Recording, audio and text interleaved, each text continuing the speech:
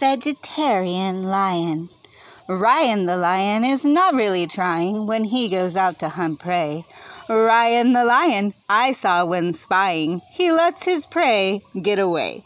Ryan the lion finds the hunt horrifying, hunting's not his natural way.